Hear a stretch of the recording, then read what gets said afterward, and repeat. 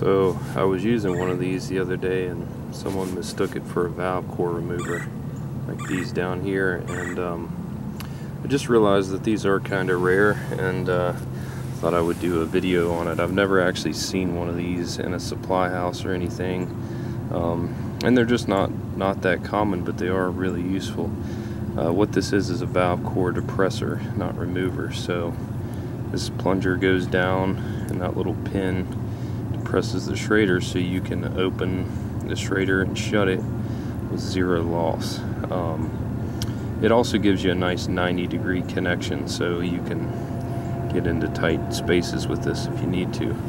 But um, they're really great on pressure tests and stuff because you can put all your pressure in, close the core, and then get a perfect reading the next time um, just by, let's make sure all that's tight. Sorry about that glare. So zero loss. So especially on a very small system, you can hook up a stubby gauge and get a reading without losing anything. Now, once you've got pressure in it, this will be harder to unscrew because you've got pressure pushing this apart, creating a lot of friction there. What I like to do typically is just um, back the uh, plunger off, just take the pressure off right there, and then this unscrews easily. So anyways, great for that. Great for not frosting your fingers on the liquid line. So what I like to do is keep um, one of these on my high side hose. So I hook this up first, um, screw it in to let pressure through the hose. I open my gauge up. I have this shut off and disconnected. So I've got pressure in my manifold bleed the air out shut it hook this up.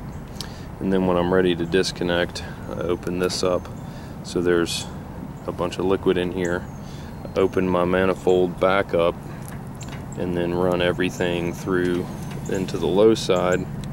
And um, so then you're getting all the liquid out. You can take this off without getting that spurt of refrigerant, which sucks in the wintertime. I mean, the older I get, the just the less patience I get for frosted fingertips. But anyways, um, so these are made these are made by C&D. This is a 2060, which just means that um, you've got the pin and no back seat, so this stays open. Um, whether it's depressed or not. This one here is a 2070 and what it, it, it looks a little bit different inside. I got it tight so it doesn't uh, loosen up in my van.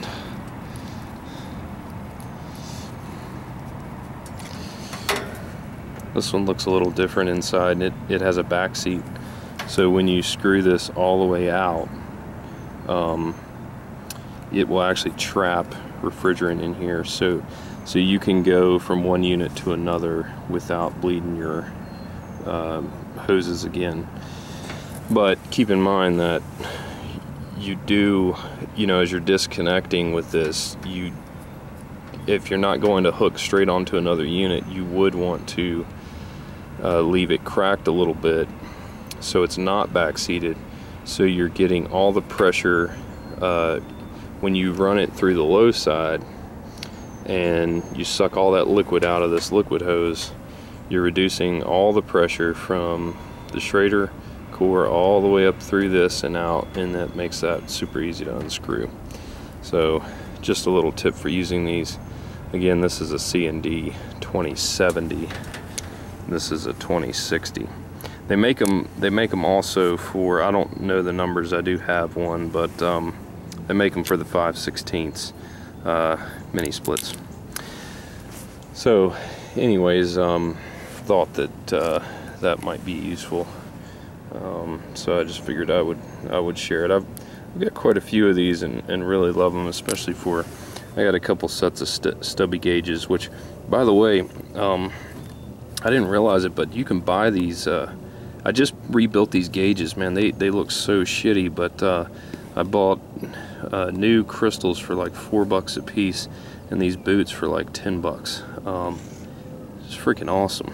Um, so, anyways, um, I've got a couple sets of these, and uh, I like using them on my smart probes. But, um, but really, in the wintertime and stuff, it's great to uh, avoid just frosting your fingers or sometimes some of these manufacturers will put these valves in the stupidest locations and um, and you can barely get a hose on them so it's great for for that.